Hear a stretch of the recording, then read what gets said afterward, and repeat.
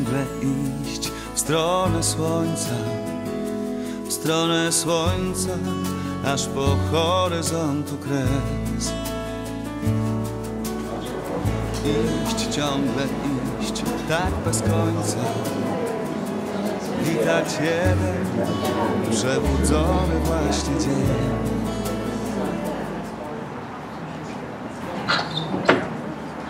Hi, everybody. Welcome, and thank you for attending. Thank you for coming. Um, Greatly appreciate it. Um, I guess I should stand here next to the microphone.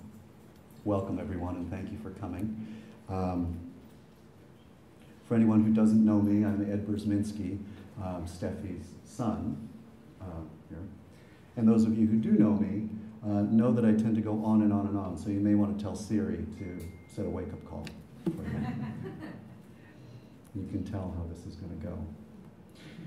Um, although Steffi came from humble beginnings, she did some pretty important things. She inspired a lot of people and touched many souls. She was an inherently happy person who loved to sing, she loved to dance, and be lighthearted. There she is dancing over there. The woman just always was moving around. She preferred a light Doris Day movie over Terminator 2, The Judgment Day. She actually was curious about space and science. She enjoyed watching movies with aliens. She was fascinated by a book from the early 70s by Eric von Daniken entitled Chariots of the Gods. Those things were fascinating to her. She loved music. Is that me? Oh, it is me. Sorry. That's embarrassing. I asked not to be interrupted unless it was absolutely, um, I forgot that joke. Okay. Um, she loved musicals and lighthearted romance stories, but they were always with happy endings. As a child, I, I enjoyed watching those uh, shows with her too, because it was with my mommy. And as I got older, I started realizing that mom was haunted by some demons. Demons from long, long, long ago. Demons that dragged her mind into some really dark places. I didn't make the connection at the time. But those Doris Day movies, the science fiction stuff, the singing, the dancing, the happy ending movies were actually kind of an escape for her. Steffi was born in Lipa, Poland in 1921. Uh, her mother was named Katarzyna Kubrak, and her father's name was Valentin Podgórski. Um, the Podgórskis come from a long line of proud warriors who were actually praised by the Polish king. They were gifted land for their deeds. Her father, Valentin, died uh, before World War II. Some of St- uh, Steffi's uncles uh, actually emigrated to the United States um, after World War I, but Steffi was too young um, to know them. Steffi had a couple of names. Stefania was her given name, and then she had a cute little name, Stefusha, and then that got shortened to Fusha. So in the early days, she was known as Fusha. In her later days in LA, people know her as Steffi.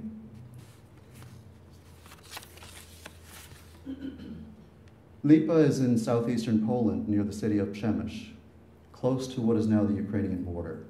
According to Steffi, Lipa was in kind of the backwoods. But Steffi felt very cosmopolitan. She was a city girl at heart. So she moved to Przemyśl, which was at the time the big city for her. And as a teen, she just loved the hustle and bustle. She really enjoyed it. She worked in a small shop owned by the Diamant family. Um, after a while, she started dating one of the sons. His name happened to be Isidore, Iju for short. So they had a nice little relationship, and in 1939, Hitler invaded Poland from the west, and the Soviets invaded Poland from the east. Things were okay for a bit because Przemyśl was taken over by the Soviets, which for the young people here, those are the Russians now. But then Hitler attacked the Soviets and he took over all of Poland. And Przemyśl was now under Nazi occupation. It was 1941.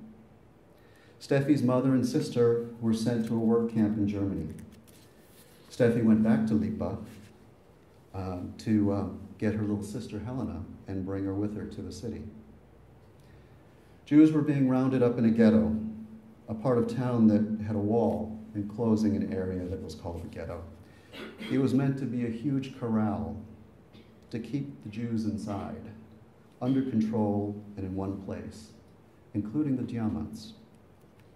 The Diamants trusted Steffi. They asked her to stay in her apartment, to take care of it until they returned. She visited them in the ghetto when she could, having to sneak in through some basement windows.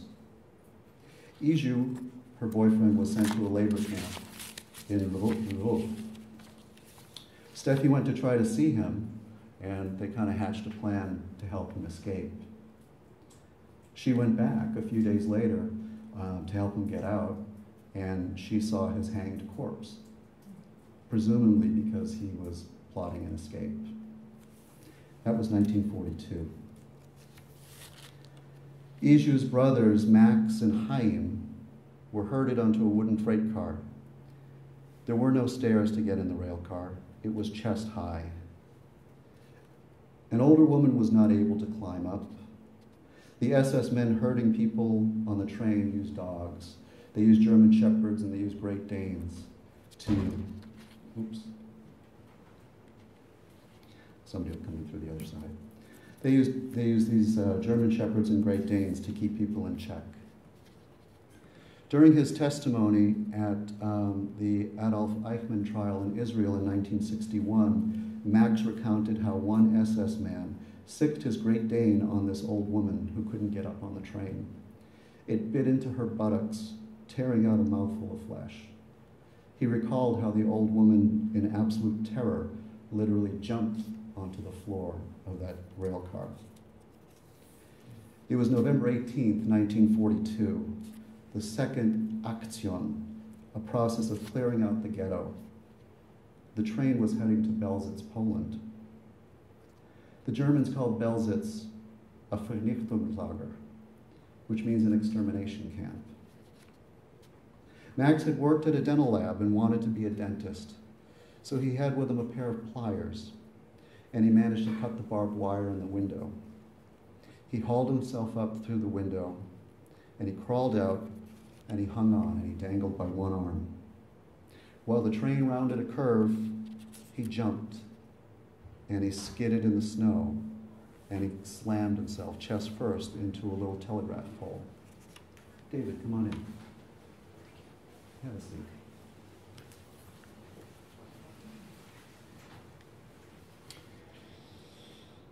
Let's see. The loaf of bread he hid under his shirt before he left and got on the train broke the impact of um, hitting a telephone pole. His brother in the train didn't want to jump. He said something to the effect of, Let our blood be on their heads. Chaim went on to Belzec, like his mother and father before, during that first action in the ghetto. So, um, Max went to his old friend's house. That friend told Max to stay put, and he would go out and get some things to clean him up. But something didn't feel right to Max. So he left, and he stayed outside and, and kind of watched as his old school chum came back to the house with a German patrol. He was going to turn him in. This was a confusing time people did things from fear, from who knows what, but it was a confusing time. Max went to Steffi. She cleaned him up, she fed him. Later, Steffi went back to the ghetto and smuggled out his brother Henrik and his fiancee Danusha. There ended up being too many people at that little apartment where they stayed, and she needed a bigger place. So Fusha went out looking for a place for her people she found a house for rent on Tatarska Street. It was Tatarska, excuse me, number three. It was a small one story house, two rooms, a kitchen, and an attic. There was an outhouse, and a manual pump for water outside. There was no running water in the house. But for them, it was perfect. Max figured out a way to, up in the attic, make the attic a little shorter. They gathered up some wood, they built a little partition, and it was, um, it wasn't very big. It was about six, seven feet high. It sloped down to about two feet, and it was about six feet, seven feet deep. Ultimately, 13 people ended up staying in that spot for two years. They had to figure out how to deal with food, how to deal with waste. There was no running water. There was a bucket. Everybody went in the bucket. And then Fusha and Helena, her sister, had to empty the bucket. Um, one day, Helena, this little girl, she was eight at the time, she was tasked with delivering a note to a couple more people in the ghetto that were coming to Fusha. She was a kid, so people thought she wouldn't be noticed. An SS man guarding the ghetto chased her. The note had the address and directions to Tatarska 3. They could all be killed. Helena, this eight year old girl, being chased by the soldier, had the presence of mind to shove this note in her mouth and swallow it. Little eight year old kid. The, the guard caught her, but she didn't have any note. She didn't have anything. She was just a kid playing around. So apparently she kicked him in the shin and ran away. This is what everybody told me she did, so I'm sure it's not made up. And she got away. Ultimately, there were 13 people in the attic. My mom in Polish called them Szczęśliwa Trzynastka, the lucky 13. Her 13 ghosts. So when she passed away, I checked to see what was available as far as dates, and Saturday, October 13th was available. Hello, it made perfect sense. So here we are on the 13th. Um, my mom worked as a machinist. She made bolts and screws. She had a suitor, a young Polish boy, who apparently was really, she said he was really cute. But she couldn't date. She couldn't risk it. So she ended up finding, coming across a picture of an SS officer, a German military officer. And she showed it to him and said it was her boyfriend. That Polish boy was devastated in so many ways that the girl he likes is dating the enemy. And she was devastated because she wanted to be a girl. She wanted to date. She couldn't. Um, I have more written, but at about four o'clock this morning, I figured instead of me telling my mom's story, maybe my mom can tell her story in herself. So.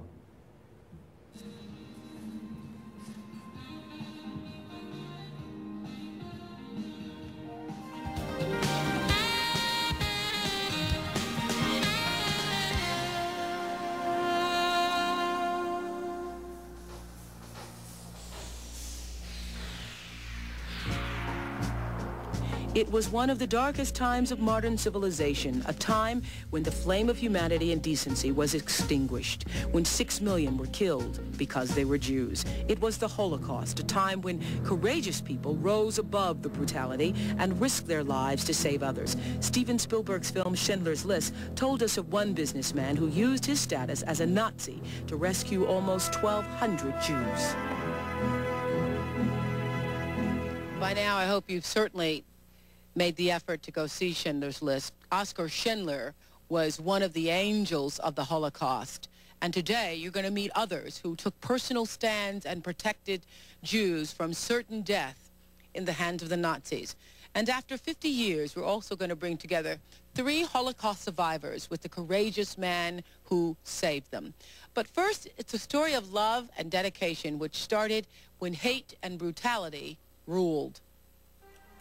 Stefania Podgorska was a Catholic teenager when Hitler invaded Poland and began rounding up Jews to send to death camps. Her friend, Joseph Burzminski, escaped from a train and turned up on her doorstep. Unable to turn him away, she hid him and ultimately 12 other Jews in her attic for two years. After Poland was liberated, Steffi and Joe were married. And Steffi and Joe join us today. Steffi and Joe, now married for 50 years. What happened when Joe appeared at your door? Well, he appeared at my door and he asked me, then I opened the door, he asked me, he begged me just to help him. And you were what, 15? 16. 16 years old. 16. To, to help him, to, to take him for one night. How had you known him before? Oh, before I worked uh, with uh, his uh, family, his mother. Uh-huh. They had a little uh, uh, grocery store. So I work with mother, Uh-huh. and I help her in the grocery. So he comes to your door, he says, please let me stay here because... Help me only one night, only one night. Mm-hmm. But he looks terrible. So I said, come on in, come on, don't stay too long there. He looks terrible, so I took him and uh, he, he was stayed not only one night, but a few nights because it was uh, impossible to, to go someplace else. How many nights did he stay? Oh, seven nights, Uh-huh. seven nights. And then what happened? And then I went to around the ghetto to take some information what happened there. So uh, was a little quiet in the ghetto, and I told him I came back. And he said, also because I was only one room, studio, there was no place. When somebody came, some friends to me, I hid him under the bed and covered bed with long blanket that because... Weren't you afraid hiding him, though? Weren't you afraid for what could happen to you? And did the I rest know. of your family know that he was being hidden there? No, my family didn't know. They didn't know. They didn't know. You were a good hider then. Well, I was afraid, of course, a little, but uh, that was few minutes afraid, and then I said I have to help. And so later he returned back to the ghetto, and uh, was quiet a little there. And then I was coming to the ghetto very often and to, to around and with my friends also. And um, then when I one day heard on the street that ghetto will be liquidated, so I came to the ghetto. I said they probably will be ghetto liquidated. But already before they, uh, his parents, they were taken to concentration camp. Did you understand at 16 the horror that was going on around you? Were you aware of what we all now know? Was, were you aware that, peop, that the Jews were being gassed and tortured? Well, I tell you true, I didn't understand a lot, but what I understood, That if you let him, if you had not hidden him, that he would, was going to die I hand of the understood that is, that is terrible. uh, Why these people have to die? For what? Because they're Jews. Because only they Jews? Mm-hmm. They, they look like, uh, like everybody else. Did you know that you were going to die if you weren't, hi- weren't hidden, Joseph? Yes. Yes. I jumped from the running train. They took me from ghetto Yeah. and with other people, and they pushed us to the train, like a cattle train, Uh-huh. over 100 people. And they said, you will go for soap. You're fat people. And that's it. That they would make soap out of you. Yeah, and they mm-hmm. packed us inside. That was terrible inside. Now, you know, I've heard stories, and I had a fascinating conversation last year with Elie Wiesel, and one of the things he shared was that a lot of the people, a lot of the Jews at the time, were not aware that they were being marched to death camps, that they thought that perhaps they were going to have to go to work camps, but that a lot of people went and went sometimes willingly, knowing that times would be difficult, but not aware of the horror that awaited them. This was in the beginning, Mm-hmm. where they made the ghetto. But later, Everyone some, knew. Some people came back, escaped from the train, and told us what they were going. They put us in the train which was going to the special camp. Camp was the name was Belzec. That was only for production. Nobody was working, only killing and using human body like material for production. Now, uh, hair for materials, skin, for leather, to make uh, anything. No, it was only production. And I broke the barbed wires. And you knew that that's I what you were know, going yes. And uh, I jumped to the running train through the window. I wanted to commit suicide. The rest of my family was also on the train. Everybody disappeared. And I survived. I had... Uh, You jumped from the train to commit suicide? Yes. Yes, you were trying to kill yes. yourself. I said, no, I will not go for soap. I will kill myself. and I had a loaf of bread here because when we were hiding in the bunker, they pick us up. The bread still I have here and a, and a belt and a coat. It was November 18, 1942. It was snow, it was cold in Poland. And when I was going first with my head forward, like by instinct, one time I wanted to commit suicide. Something like that. No, do you, you will go under the running wheels because I saw the the uh, the rocks and everything was, uh, was going fast. So I told them put me back, and I was going with my for, uh, uh, my legs forward. I was hanging on the left hand outside. When the train was taking a curve, I jumped. And suddenly I felt a severe pain here in the chest because I hit a post there. But the breath saved my life. There was a hole like a fist in the breath. And after a while, I came to a conscious, and I was seeing the only the train far away. I was running after the train, after the tracks, I mean, maybe some of my family jumped.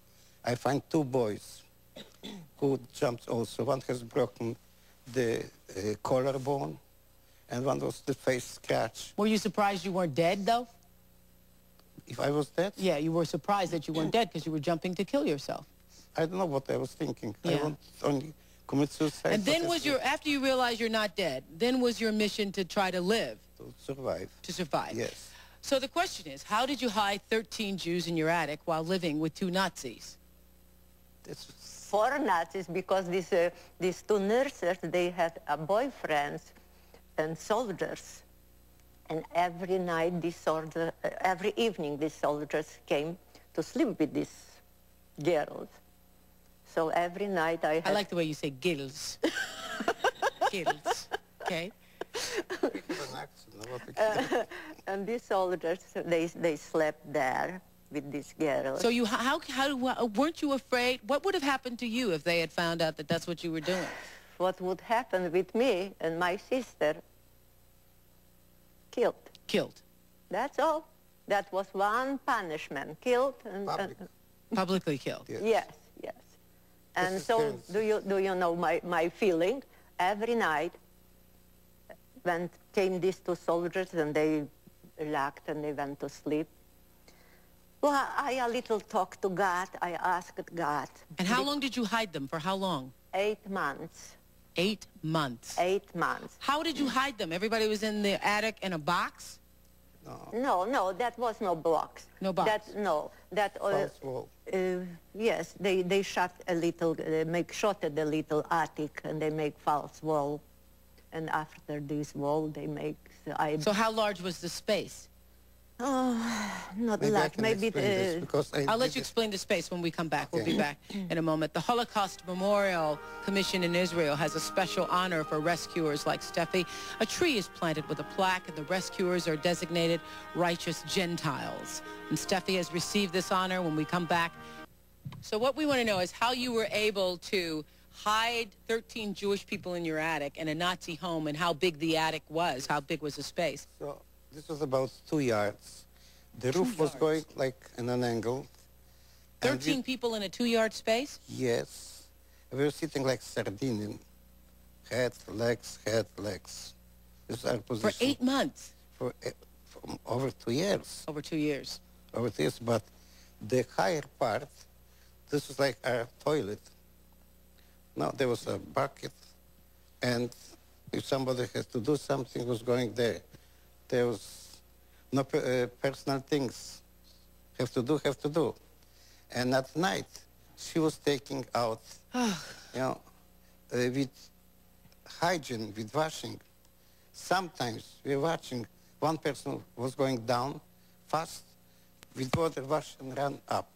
Wow. There was a ladder and with uh, you know, there was like ranks. We were going on the attic. The wall was exactly like the old one. And on the bottom was small door, which always was opening, and to put a little fresh air. When we heard somebody's going up on the ladder, we closed. And this is what I had from the sitting over two years like this. Because I was on the bottom, and I was opening and closing the doors. I was lying like this. Show, that, show us that again. This, the, Yeah. this is scoliosis I have, you see? Uh-huh. From Kind of sitting crooked. over two years in this position. We couldn't walk, we couldn't talk. We didn't talk, when you only whispering, walking. Only You couldn't some- walk because people would hear you. Yes, only sometimes we went down to wash. So this on the ladder down, uh, up. For two it. years. Yes. How did you feed them? Where did you get the food to feed them without being found out? Well, I tried to, to, to buy food and I uh, pretended with, to my friends and, and uh, neighbors that I am uh, buying food and then selling food to make a little money. But when I brought, uh, bought food, I brought home was heavy bags. Then when I went out, I work in factory.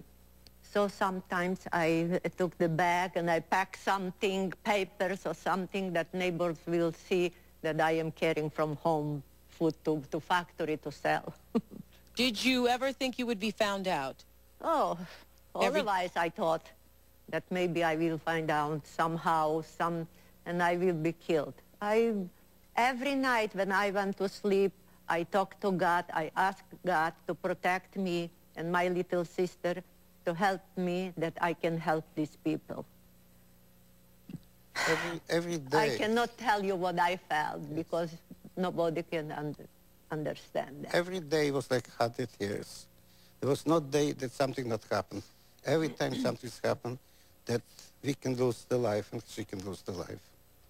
Every time. There are many, many stories So 13 of you sat in that attic for two years over two years, yes. Until the war was over? Yes. And one, one episode only, I will tell you. One day, came to me two SS men, and they said to me, they gave me only two hours to move out of my apartment. Ugh. And I asked why. They said, because they opened, they uh, opened the military hospital across my home and they needed apartments for their, their personality, for themselves. Around that was family, and he said that we are only two girls, so we can go out. And they gave me two hours. And you know all these people are in your attic. No, she was holding us. So, what did you do? Wait a minute.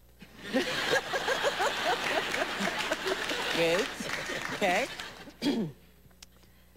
So they, this SS men said if they will come two hours and I will be still the, at home, they will kill me and my sister. I, I said, all right. I didn't have choice. When they left, I went to the attic. I told my people what happened. Two others, they gave me to move out my apartment. So all 13 came to me, embraced me around, and they said, listen, Steffi, you have to run away. Take your little sister. You cannot help us anymore, but save yourself and your sister. We probably have to die. There's no choice, but you not have to. You cannot help us anymore. Take your sister and go. Run away. I said, first of all, I will run to the city and ask maybe will be some apartment. And I ran and I look around and here and there and in two hours you cannot find apartment. Right. I can find, I can go to, to, to my friends for a few days before later I can find. But you can't take 13 But people. 13 people. Right. I, I just also, I, I couldn't leave them. So was 15 minutes left. I can, came home and I told them, no apartment. And they all still came around me. They said, run away. You have still 10 minutes. Run away. Don't stay. Don't, you not have to die with us. Run away. And some of the cried was three children, and they look at me, and they touched me, and they, they hold me. They didn't say nothing, but they, they squeezed me. And I look on these 13 people, and I felt inside I cannot leave them. So what happened? People. What happened? And I told them, I will not leave you. And they were like a shock. I said, go on the attic, go to your bunker and stay quiet. We will see what will be. I will not leave you. So when the SS men came back, what happened? SS man came back exactly two minutes and uh, they said, that's all right that I am not uh, uh, moved because they will take only one room and in the other room I can stay with my sister. Miracle. That's a miracle. That is a miracle. So my mom was, um, she was a, a, a very deeply Catholic woman. Um, she wasn't a practicing Catholic. She didn't go to church. During that episode, she said, um, well, during that episode of the SS men coming, she said um, she kind of heard a, a voice in her head just say, a woman's voice, just say, everything will be okay. Don't worry. And she, um, she just felt this calm wash over her. And she said, um, that's when she told her, her people, it'll be okay. She later said, I think it was, you know, Matka Boska, uh, Holy Mary. During those years, she had these pictures with her. She would pray to these pictures Jesus and Mary. And these are the actual ones from, from that house. She told me that after there were so many things that went on that um, all the 13 people there um, knelt and prayed to that picture because they said, Our God gave up on us. We'll pray to Jesus. And that was a big thing. I, you know, that's a big thing. A, a lot of the people who, who survived, they converted to Christianity. Um, they abandoned their Judaism. Some stayed Jews, some stayed, became Christians. So you could see on her face, you could see the stress, you could see the tension. That was her life for so many years. She gave up her, her childhood. And, um, you know, she came down with dementia. Um, and honestly, I have to say, dementia is a terrible, terrible disease. But it freed her. She ended up forgetting that stuff. She was able to be a, a young child, a, a young girl, and she was happy, um, laughing a lot. Let me tell you a little bit more about Steffi. Oh, hi. Oh, no worries. Bring it in. Thank you. Um, okay, so Joe became a dentist. He oh he changed his name from Max. He was Max Diamant. He changed his name to Joe Burzminski. Why? Because after the war, um, there were still some ignorant people who didn't like Jews, and they were running around beating them up. They were called pogroms, and some of them were being killed. So my dad didn't want to die. He didn't want the family to die, so he took the name of a Polish person, Joseph Burzminski. He went on to become a dentist. Um, they, uh, he was doing well in Poland as a dentist. My mom was a dental assistant. Um, and he, under the Soviets, he was asked to become, or told to become a communist. He said, I don't want to be a communist. I said, well, you ain't going to work. So he said, well, crap, what do we do? Because he was Jewish, the Soviet Union had a relationship with Israel that they could uh, leave, because under communism you couldn't leave uh, easily. So they moved to Israel for a couple, for three or four years. They started a dental practice there. Uh, they learned Hebrew. But they had wanted to come to the US. They wanted to come to America. And they were sponsored by somebody in Chicago. And when they arrived in New York, my dad said it was like a dream come true. He would never have thought, coming to America? It's amazing. He got accepted to Tufts Dental School because he couldn't be a practicing dentist, even though he was for many, many years. He had to go to dental school all over again. So at 47, he goes to dental school. Um, uh, this is in 1962, and he's from a communist country, and he's going to school with a bunch of 20 year olds, so he took a lot of crap. Um, he didn't know the language very well, but he knew the stuff in Latin that was written in the textbooks. He kicked butt on the practicals because he had like 20 years of dental experience on these kids, but uh, or the labs.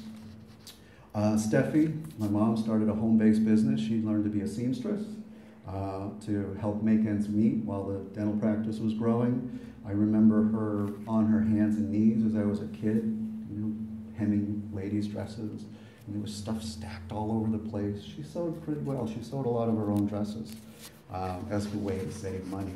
Why spend money? I can make the dress. Um, so Joe's, my dad's dental practice went well. He was a one-man shop. Steffi assisted, and all that stress was building up, and she needed to write it all down. She needed to commit it to, to, to paper. Could this stuff have really happened? So she worked for almost 10 years on a memoir. And my mom she never told me, but I don't think she had much of an education.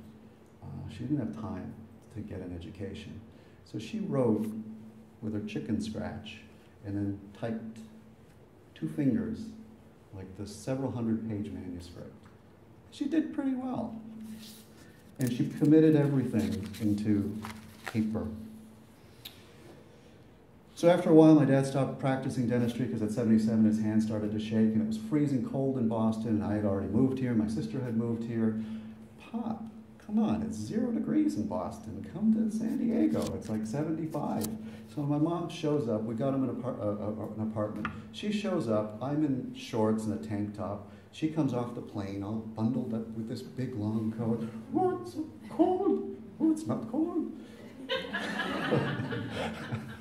she took to the shorts, she took to the, the short sleeves uh, pretty quickly. She enjoyed it. Uh, they moved up to Los Angeles. We met some wonderful people. Um, by that time, the dementia started to settle in, and she started to do some really fun things, um, say some really fun things with people. And that trip right there, um, that was a, a, cruise to Ensenada from um, San Pedro. So we're boarding. It was my mom, me, and my stepdaughter Nicole. Oh, and, and my dad. So we're boarding, and the, the, the passports are being checked. And um, there's a guy who, my mom would say, was corpulent. He was heavy, and he was checking passports. He was kind of sitting on a table like this with his gut hanging out. So, you know, the filters start to come down, and my mom looks at him and she pokes him in the gut and she says, You need to lose weight guy just was like, oh. Um, when Lori, my wife, and I took my parents to uh, San Francisco just after 9 11, um, when we were coming back, that's when security got imposed. You, you, had to go through the security check. And we're standing in line. This, nobody had known about this. We didn't know what to do. We're just standing in the lines and walking through, and there's soldiers, I don't know if they're Marines or whatever, but they're standing there with their M16s hanging here, their, their guns. And my mom really does not like men who are armed in uniform. So she's getting in his face. She's poking him in the chest. Don't you tell me what to do. And the guy's like, he doesn't know what to make of her. And I'm standing in the other security line going to the guard, like, he's looking at me, he's looking at her, really. So I, I come over and like, Fusia, you know, relax, it's okay. she became a handful. and those of you who know her for a long time know how much of a handful she became. She was a good lady. She was a really, really good lady.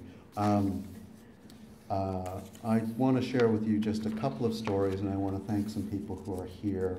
Um, why did Steffi do what she did? she kind of alluded to it. You know, for her, people are people. She just saw what was going on was just wrong. You know, there, some people were different, some people maybe dressed differently, but it was just wrong. So um, she had to help.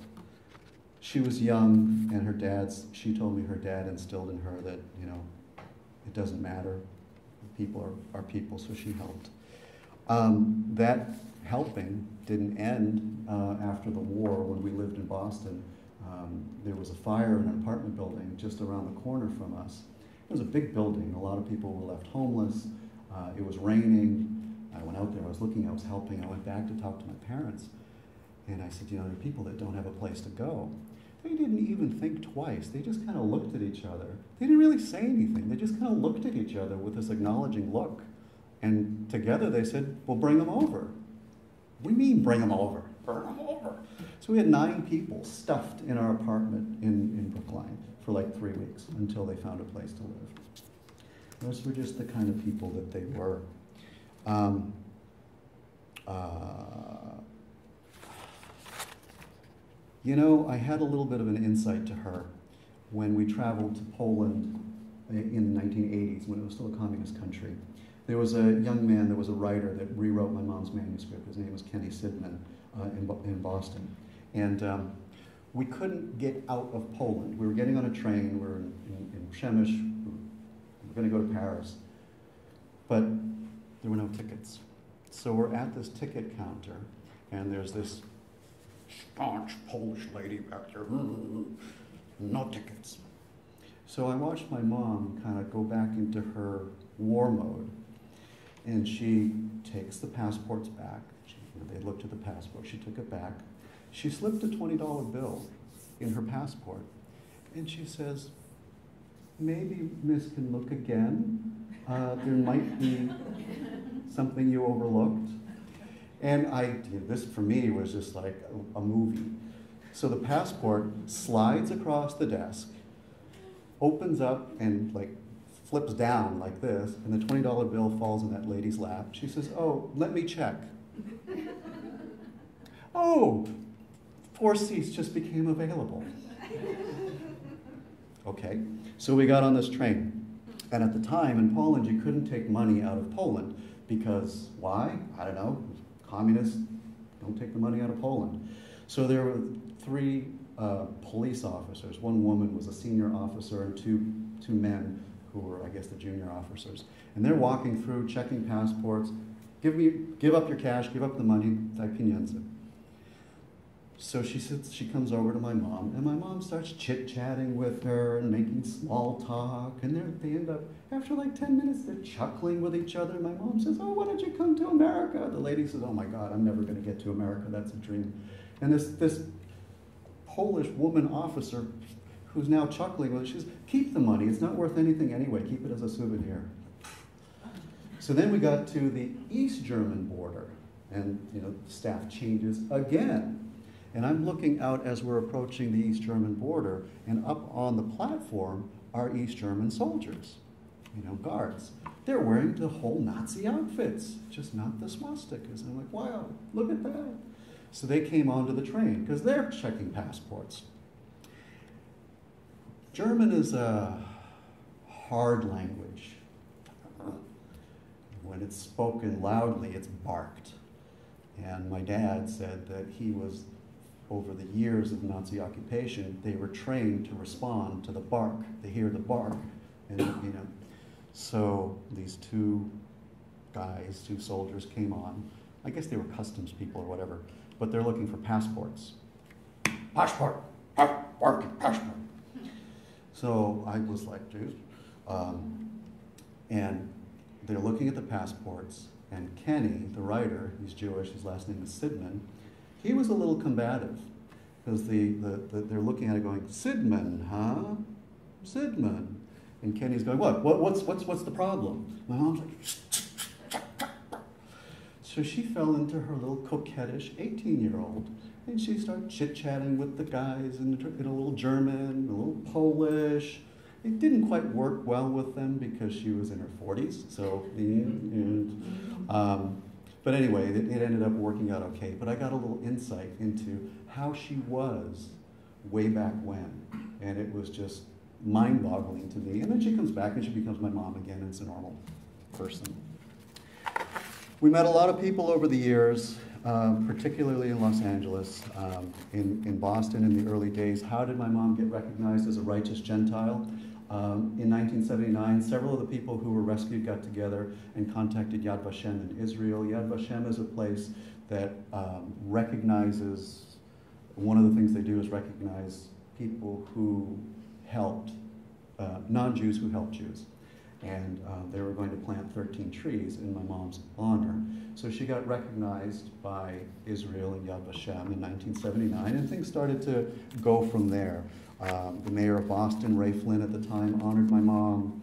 Um, there was a guy named Sy Rotter in Washington, D.C., who um, uh, wanted to uh, create documentaries. He created a documentary about my mom called, and dad called The Other Side of Faith. We went to Poland together. My dad hadn't been back to Poland since then. This was the 80s. Um, the United States Holocaust Memorial Museum uh, recognized mom, and actually she got to speak at the dedication of the U.S. Holocaust Memorial Museum. I have a picture on the slideshow where she's talking. She got to meet uh, the President of the United States and, and the Vice President, the First Lady, and the Vice First Lady, um, which to them was like, oh my gosh, coming from the backwoods in Poland, they're meeting the President of the United States. It was really kind of amazing, and dignitaries from all over uh, the globe um, there was a lady who was one of my clients uh, at Los Angeles Lawyer Magazine at the LA County Bar Association. Her name is Susan Pettit. I've lost touch with her, but I owe her so much. She, she heard my parents' story and she contacted a friend of hers at Hearst Entertainment and got them as a segment on a TV show called In the Name of Love. Oh, Kendall, could you open that door? Oh, yeah, that's Denise. Come on in. We were just getting to you, just in time. Always in time for the cue. and uh, you saw the Oprah show. We got to uh, be on the Oprah show. And these two lovely people who just entered, you're actually, you're right on cue. Come on in. Richard, come on. Denise.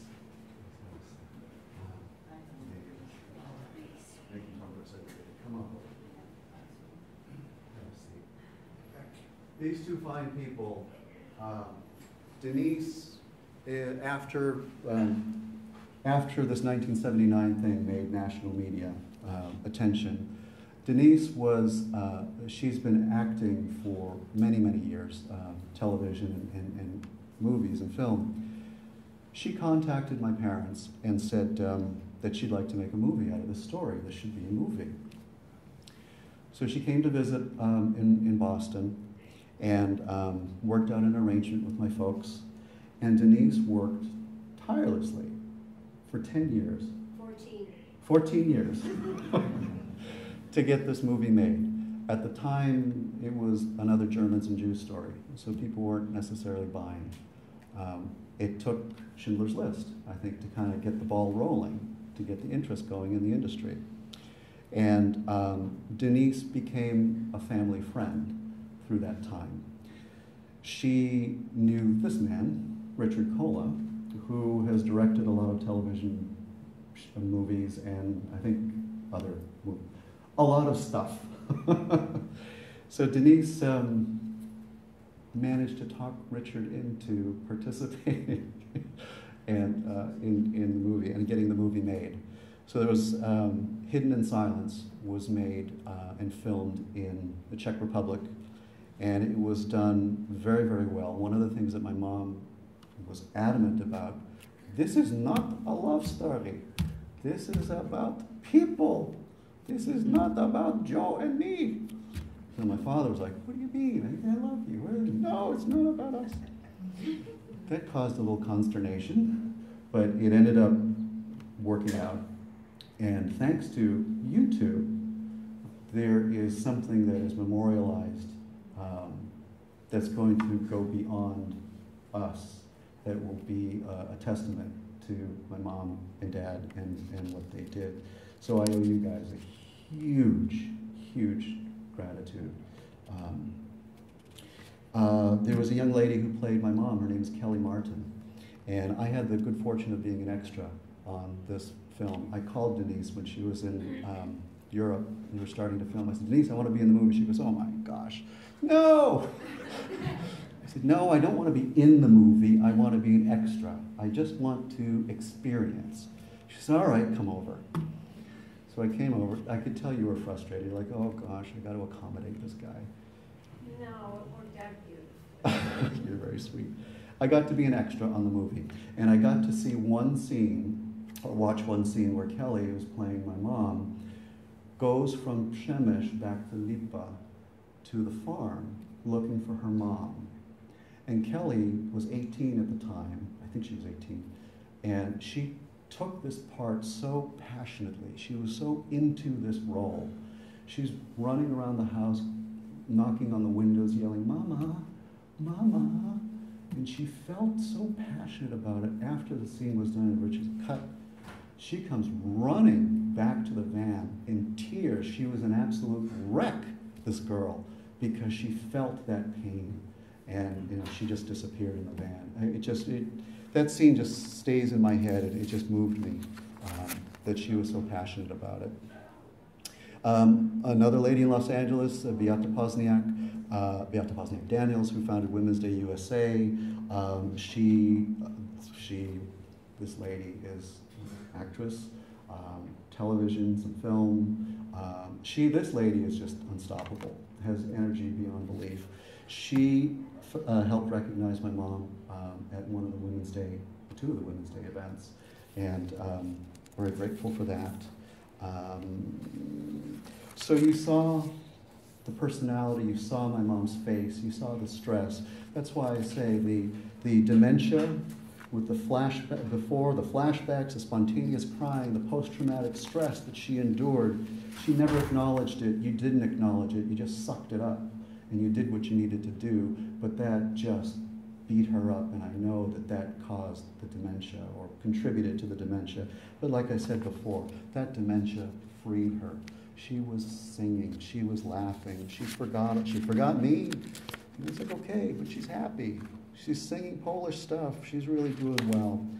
Um, so, then there was, as she started to decline in recent years, we found a place for her uh, in Tarzana, uh, a home and uh, a residential care facility for the elderly. And uh, it's called Marble Terrace. And it was owned by a Polish family. Oh my gosh, in Los Angeles, a Polish place for the elderly. So um, we were able to get my mom in, into um, the Polish place. Elizabeth Godlewska is here with her. She owns the facility, and Bonnie um, Kozbiel uh, is the administrator. Yes. She, she, these two and her staff watched over mom um, until she passed away. And they did a phenomenal job. I thank you so much for taking care of her. I also need to thank my wife because she only once asked me, How much are we spending to support your mom? And she only asked me once and never asked me again. She never questioned. We always gave what we needed to give. And she, you know, she supported us, me, in doing that. So I'm honored to have some honored representatives here. Um, Marla Abraham is here from the United States Holocaust Memorial Museum uh, in Washington, D.C. It's the West Coast office. Um, Marla, I, would you like to?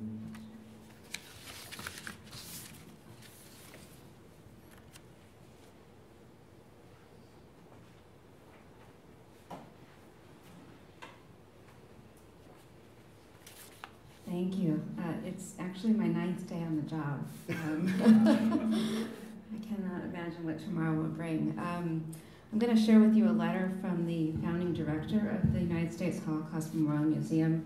I just have to say, um, I met Ed this morning, and after watching your, your folks, um, they are so in you, and so much of the welcome and the, the heart that I feel here this morning. Uh, here goes the letter. To the family and friends of Stefania, Podgorska Burzminski. On behalf of all of us at the United States Holocaust Memorial Museum, we wish to extend our heartfelt condolences to you on the loss of this remarkable woman.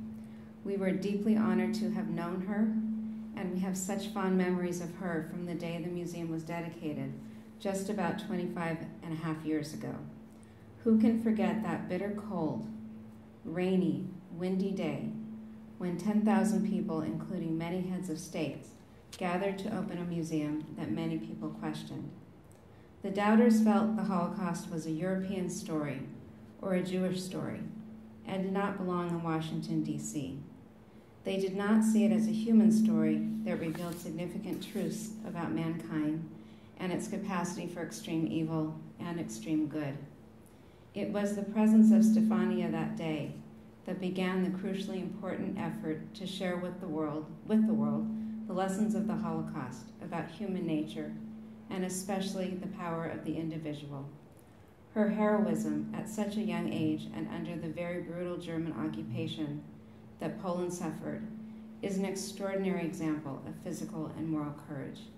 It began with food and ended up providing shelter to Jews, every single one of whom was targeted for death.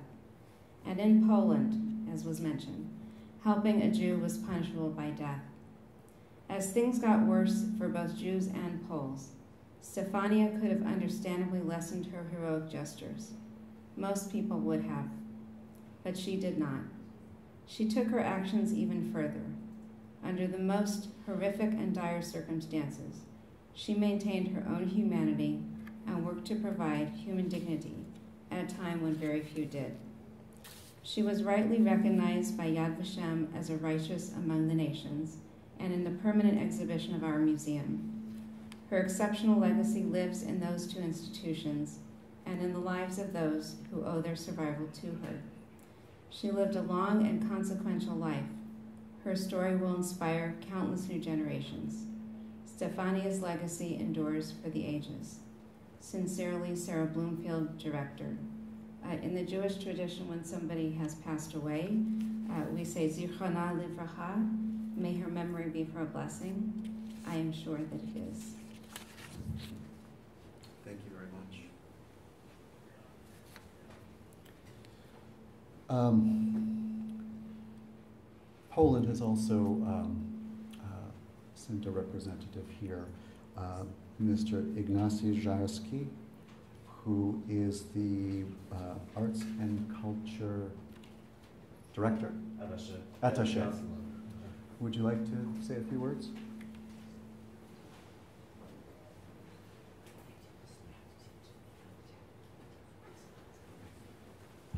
Good morning, ladies and gentlemen. First of all, what a what a powerful story! What a great family! Thank you so much for having me here. It's a great honor. Uh, I'd like to say, first of all, uh, my condolences uh, to to the family, and uh, I represent uh, the Polish consulate in Los Angeles. Uh, and on behalf of the consulate, I am paying tribute to Stefania Podgórska-Burzmińska, a great Polish citizen, uh, the righteous among nations, and a great person. Um, she uh, saved the life of 13 people who were in need, that we, we heard the story. She, uh, she saved the life of uh, 13 Polish Jews and uh, she was a bright star on the dark sky of the dramatic events of the Second World War. Um, when Poland was invaded by, by the Nazi Germany. And uh, I think I should say something in Polish. Sure. Thank you, Stefania. Dziękuję, Stefania. Thank you very much. Thank you.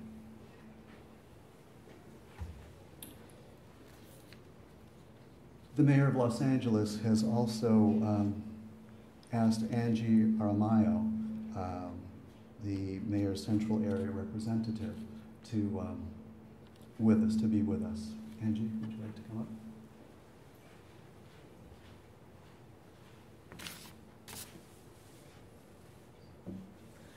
Hello, everyone. So again, my name is Ed Jeremiah. I'm the Central Area Representative. Unfortunately, the mayor couldn't be here, but he did write a letter that I would like to read to the family and to the friends of, um, I'm blanking out her name, Steffi. Steffi. so it reads Ed, Christina, and family and friends of Stefania. When extraordinary angel in the city of angels passes on, all of us grieve and mourn, recall a life well lived, and celebrate what that person brought to our communities and to our world. Yet when a woman like Steffi leaves, we do far more than remember. We have stock on what we learned from her unmatched heroism, her unrivaled bravery, and her unquestioned courage. Steffi hid 13 Jews in an attic at a time when doing so was a death sentence. But she knew it was right and just, and her long life and the decades since the Holocaust presents the ultimate answer to the Nazis' cruelty. She saved lives, she survived, she outlived those who might, might have ended her life. There is no greater testament to the strength of Steffi's determination and spirit. One of the great sages of Jewish history once said that in a place where no one is human, one should strive to be human. Steffi's story teaches us all what it means to be human, to embrace our common humanity, and to live up to our values, and to be one of the righteous among the nations. Each of us can take a lesson from Steffi's remarkable life. May the thoughts and prayers of so many in this city help bring a small measure of solace and support to everyone who grieves at this time. Signed sincerely, Mayor Eric Garcetti. So, on behalf of the Mayor, I'd like to present you this letter as a small token of appreciation. Thank, Thank you very much. Thank you very much. And we got that. And also, the mayor did win to um, oh, wow. present you with an in memoriam, sir, for Steffi. Oh, wow. Just as another way to thank her, to thank the family for all the work that they've done as well. Oh, that's wonderful. Thank you. Wow, thank you. Look at that. Thank you very much. See that, Mom? Mm-hmm.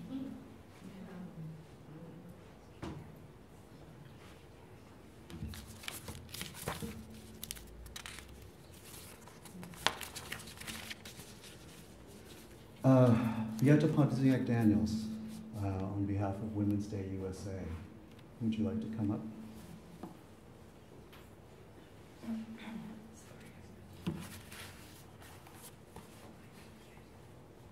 I'm Beata Pozniak, and I am, uh, besides being an actor, director, producer, I am also a founder of um, Women's Day USA which is an organization that recognizes women's achievements on International Women's Day.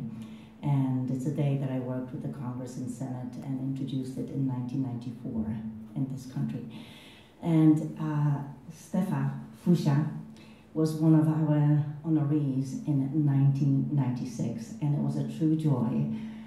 Uh, I'm Polish, she's Polish, and she spoke Polish, and she was so excited to be part of this new community and from Poland and sharing what it is to be able to make a difference as a Polish person and being here with us. And, and we honored her for her tremendous heroism during the World War II. Um, and I have here a special um, certificate of recognition that was given to me. Uh, I'm representing um, on the behalf of Senator Ben, Al- ben Allen from the 26th uh, District, who also is the vice chair of Legislative Jewish Caucus. And he sends um, this certificate of recognition, and I'd like to share it with you.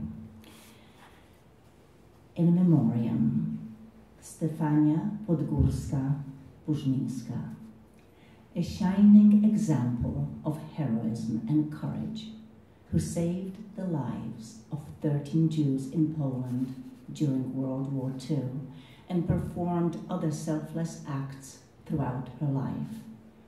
The world is a better place for having her in it. May she rest in peace. Senator Ben Allen, 20, 26th District and Vice Chair, Legislative Jewish Caucus, October 13th, 2018. Thank you, Beata.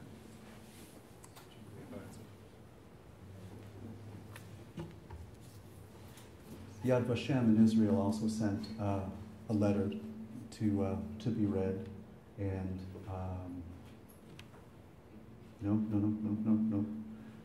Okay, does somebody have the letter? I gave you guys the letter.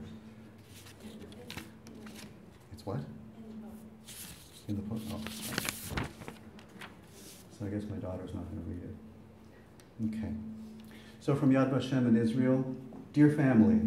It is with great sorrow that we have heard of the passing of Stefania Podgorska Burzminska. On behalf of the chairman of our directorate, the Commission for the Designation of the Righteous, and all of us at Yad Vashem in Jerusalem, I kindly ask you to accept our profound condolences. Please convey our sympathy to the entire family. We at Yad Vashem are committed to preserving the memory of Burzminska Stefania, who was honored by our institute in 1979 for her courageous actions in the saving of Jewish lives during the Holocaust in Poland. The trees planted in her honor in the Avenue of the Righteous here at Yad Vashem bears witness to an outstanding individual who acted nobly during the darkest time in Jewish history.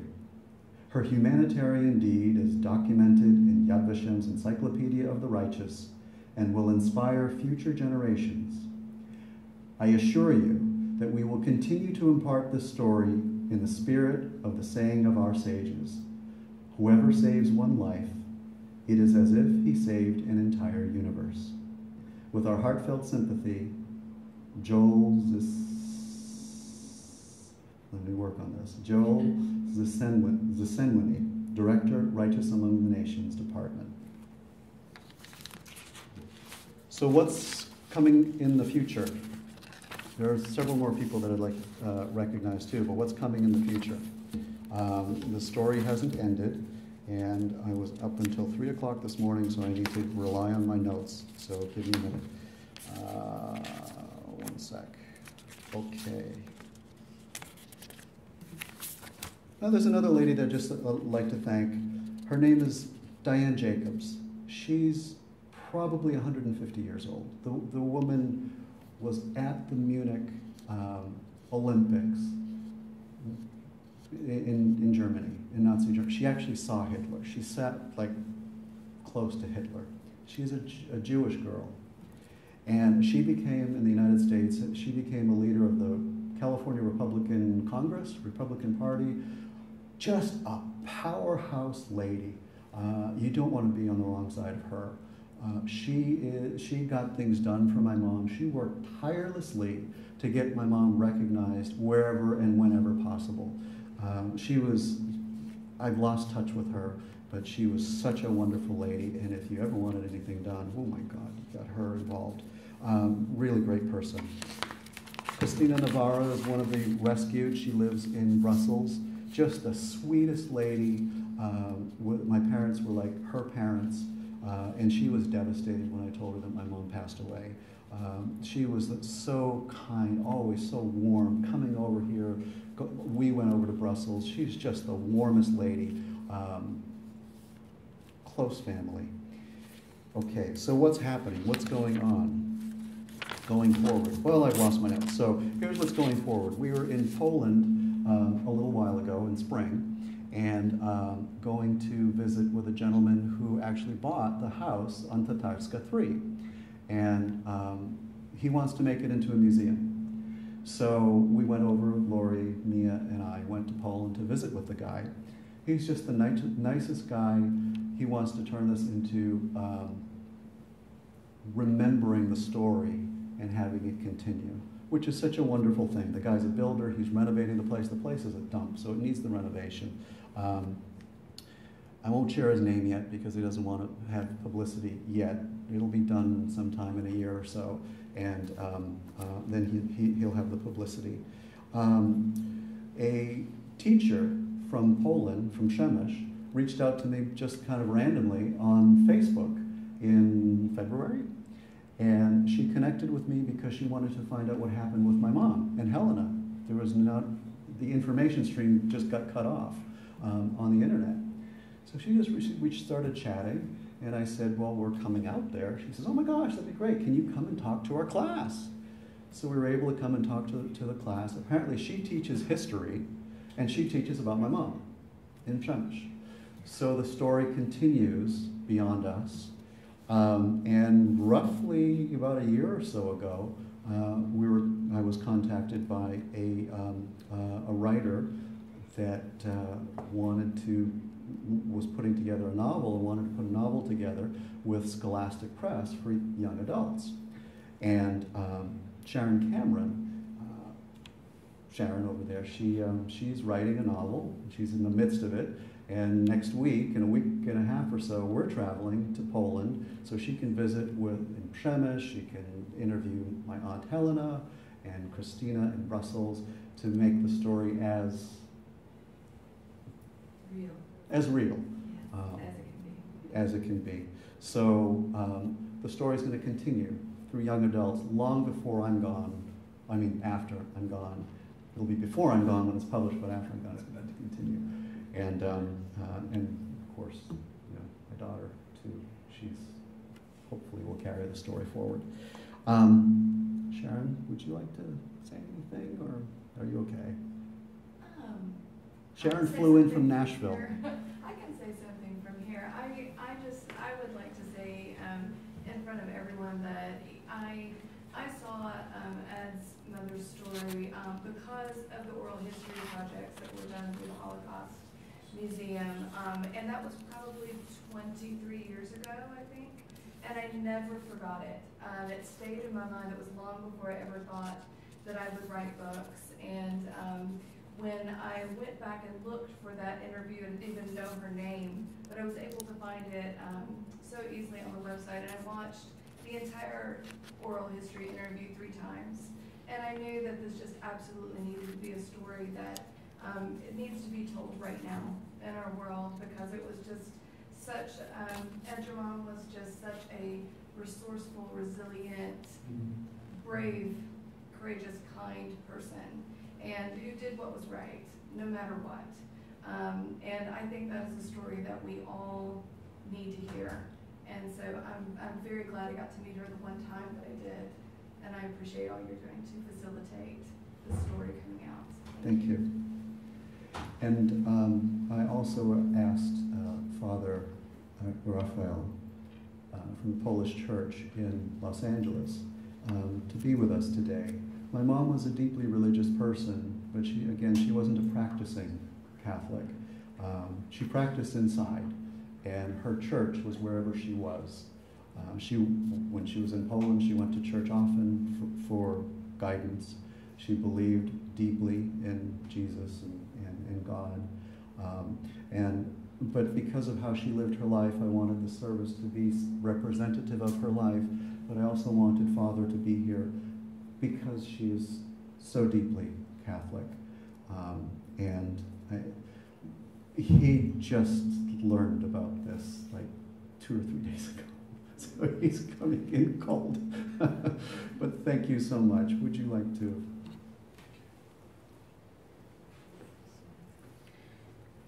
Ladies and gentlemen, my brothers and sisters, in one God, thank you for your invitation. Uh, that is deeply honor and privilege to be here with you and to pray in her first language, in Polish. Uh, thanks be to God for her beautiful life, for her wonderful heart. Uh, again, condolences for you, for your family, for everybody, uh, especially for Jewish community. Okay, let's let's pray together. Stand up, please. W imię Ojca i Syna i Ducha Świętego. Amen. Pan z wami i z Duchem Twoim. Boże, Ty sprawiłeś, że Twój Syn zwyciężył śmierć i wstąpił do nieba. Daj Twojej zmarłej służebnicy Stefanii Podgórskiej Burzmiński udział w Jego zwycięstwie nad śmiercią, aby mogła na wieki oglądać Ciebie, swojego Stwórcę i Odkupiciela, przez Chrystusa, Pana naszego. Amen. Boże, otwórz nasze serca na Twoje słowa, abyśmy w ciemnościach znaleźli światło, w, naczy, w naszych wątpliwościach pewność płynącą z wiary, w naszym smutku pociechę przez Chrystusa, Pana naszego. Amen. The Lord be with you. A reading from the Holy Gospel according to John.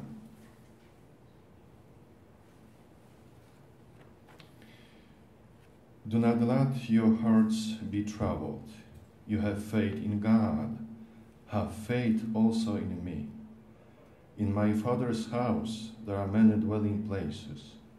If there were not, would I have told you that I am I am going to prepare a place for you. And if I go and prepare a place for you, I will come back again and take you to myself, so that where I am, you also may be.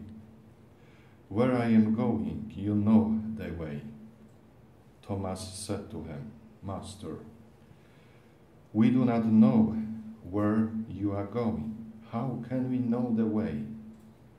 Jesus said to him, I am the way, and the truth, and the life. No one comes to the Father except through me. Jezus powiedział do apostołów: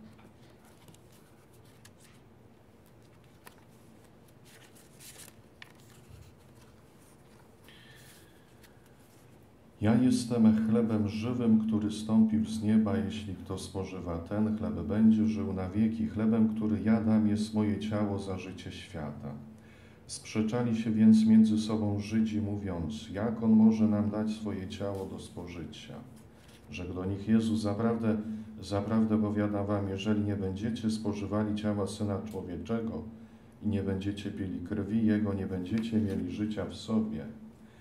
Kto spożywa moje ciało i pije moją krew, ma życie wieczne, ja go wskrzeszę w dniu ostatecznym.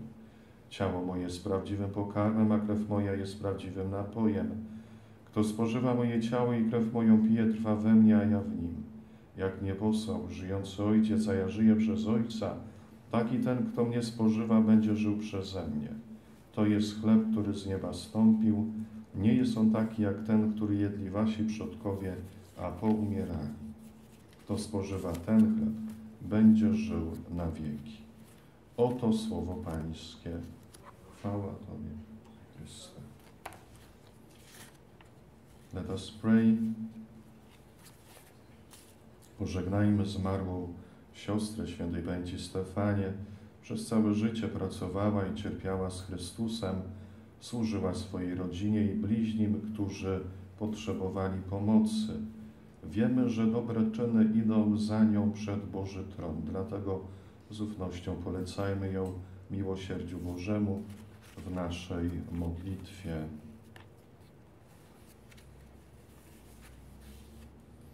Tobie, Boże, pokornie polecamy naszą siostrę świętej pamięci Stefanię, którą darzyłeś wielką miłością w całym życiu doczesnym i prosimy, abyś teraz uwolnił ją od zła wszelkiego i dał jej wieczny pokój.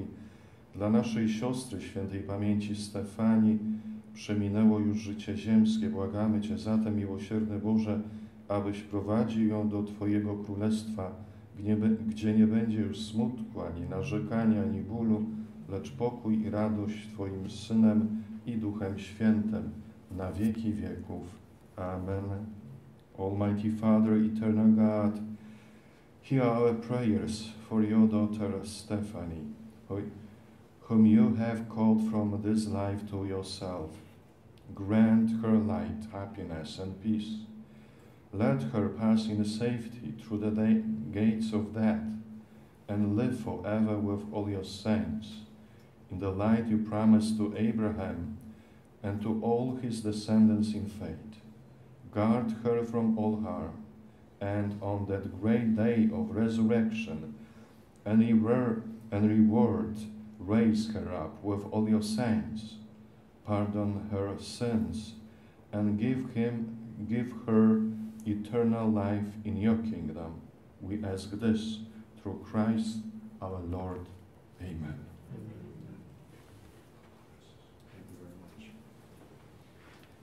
I won't, please be seated. I won't keep you guys too much longer. Um, it's getting kind of warm in here. Is anybody warm? No? No. Maybe it's me. um, just two more things I want to share with you. Um, I've started a website, holocaustheroine.com, um, that's kind of a tribute to my mom, pulling all of these stories together, whatever videos I have that I can legally use and are copyrighted, um, putting up there. And uh, it'll continue to grow. I'm going to add something for my father too and kind of bring the two of them together. But there's just one thing that I did want to share with you about my dad and um, uh, an experience that we had. When I was younger, when I learned about what happened with my parents, um, I thought to myself, you know, if I ever come across one of these German guys that espouses this negativity, I was young, I thought to myself, I'm just going to put a bullet in his head. And um, I, when I came to LA, I uh, took a scuba diving class. And um, I moved from Boston, I just wanted to meet people. So I was in this class, and one of the guys that I became friends with was German, big guy. And um, we both had we both had Asian girlfriends, so we clicked. Um, we, we were driving through the Fairfax district one night, uh, I won't share his name yet because I haven't talked to him about this, but we were driving through the Fairfax district, me, him, and his girlfriend in the back seat, and these two Orthodox Jewish men are walking across the street, you know, wearing the, with the pesas and the yarmulkes and all that. So he's sitting beside me, and we're it's late, and he just out of the blue just says, um, "My girlfriend won't let me burn them." What? And then he says, Adolf didn't finish the job. Do you know what the hell you're talking about? 27 people in my father's family were murdered by people like you. I didn't know you were Jewish. You don't look like Jew. What does a Jew look like? What are you talking about? So we got into it. Um, I was furious.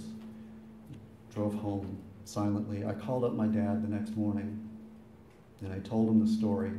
And I said, you know, Pop, I'm going to kill this kid, guy. So my father, on the other end of the line in Boston, I'm in LA, he says to me, is he a friend? I said, he was a friend. He says, well, I was blown away by what my dad said. He said, be his friend. Don't bring the hatred from the past into the don't bring it forward. Something along those lines. He says, don't, don't perpetuate the hatred, just be his friend. So we got to talking about it. Turns out his family was Nazis. They were prominent Nazis in Germany, in a little small little town in Germany. And we got to talking about that, about the experiences. And he said, yeah, you either run with the wolves or you get eaten by the wolves. Yeah, okay, I get that to a degree, I, I guess. So um, he watched Hidden in Silence, um, and he met my dad. They got to actually get along really well. They were, they got, they told jokes together. Um, but there was a, an incident. You know, we were young, we would drive around, and we got cut off in somewhere in LA by a carload of um, young black women. So we yelled at them. I yelled something like, um, nothing to do with race, nothing to do with um, um, their gender. I'm from Boston. We yell, we honk. That's what we do. So I yelled at them. I used an expletive. And he says, Well, you didn't call them the or say anything about the women thing. Said, Why? They were just being jerks. So he went back to Germany. His father owned a trucking company in this small town, and I guess they're prominent there. And he came back a few years later, and we had lunch.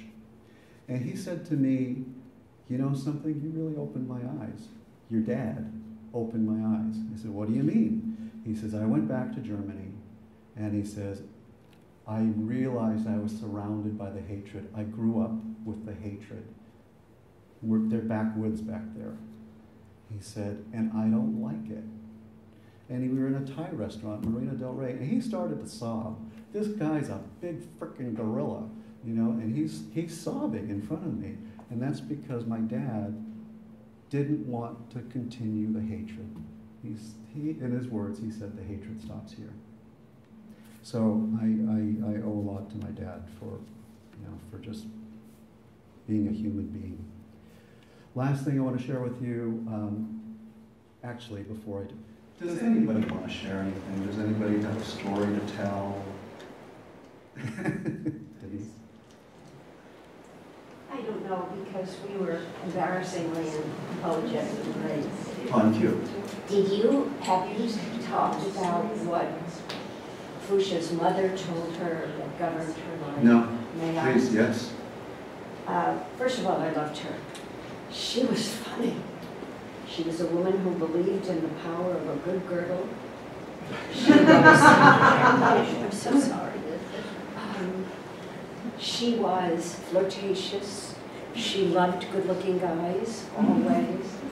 Um, I knew, I knew that Joe was her strength through so much of this, and that Helena was amazing.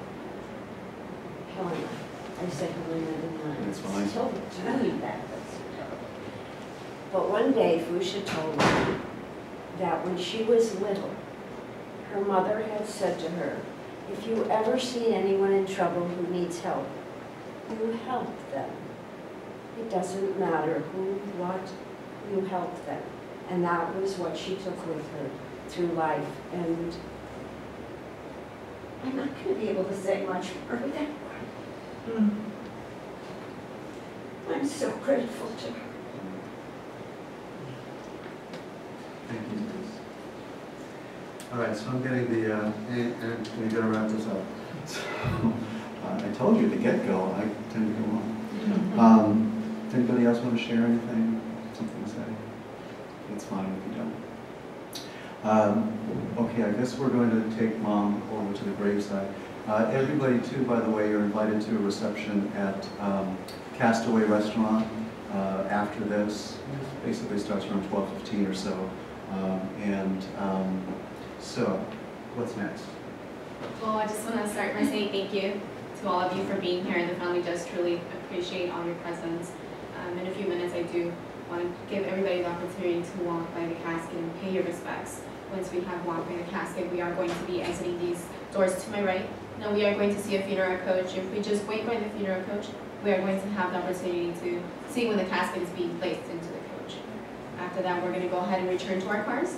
And the funeral coach is going to go through the main parking lot, and we're just going to follow behind procession, where we will be taking her to her place of rest. And once again, thank you all very much for being here, and please feel free to extend your condolences to the family here. Thank you. Thank you. Thanks again, everybody, for coming and for honoring me. Okay.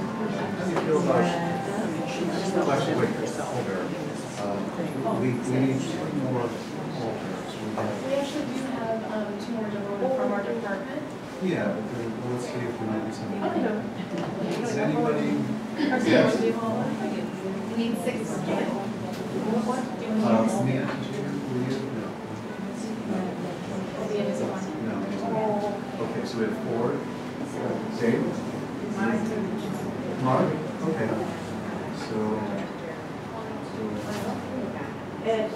Yes, right? No, no extra. Or did you want to use the? Sure, let's have gloves. Would be traditional. But no? No. Okay. Yes. We're on schedule. My wife keeps me on schedule, I go on and on.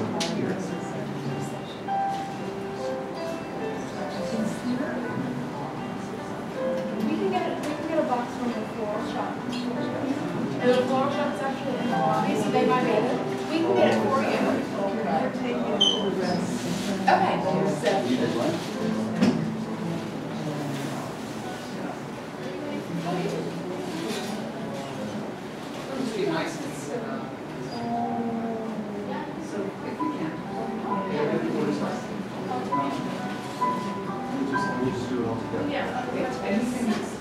Yeah.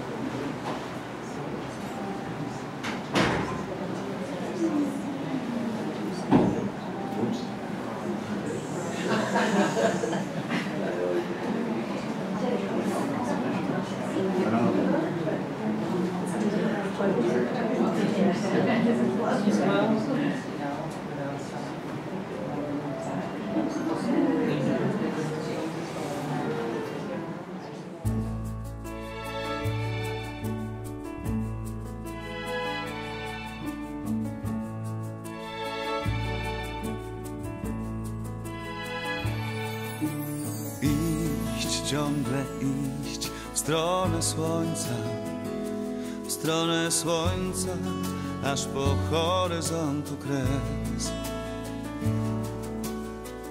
Iść, ciągle iść, tak bez końca, witać jeden przebudzony właśnie dzień. Wciąż witać go, jak nadziei dobry znak z ufnością tą, z jaką pierwszą jasność odśpiewuję tak. Iść ciągle być w tej podróży, którą ludzie prozaicznie życiem zwą. Iść, ciągle iść, jak najdłużej za plecami mieć nadciągającą noc. Z najprostszych słów swój poranny składać wiersz. W kolorach dwóch raz zobaczyć to, co niewidzialne jest. Iść, ciągle iść, trafiać celnie zawianej piaskiem trawy ślad.